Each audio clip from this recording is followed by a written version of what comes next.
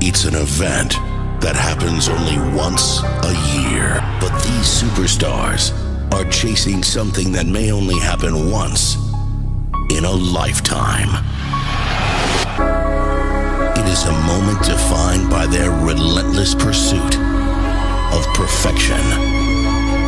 Through the years, they've worn championships and the guise of despair on their faces. Broken bones.